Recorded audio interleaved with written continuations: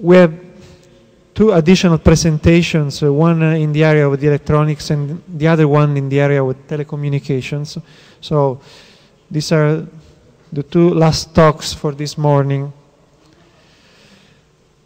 The first talk is given by mm, Simone Sergi about the value of cooperation in uh, wireless ad hoc and sensor networks.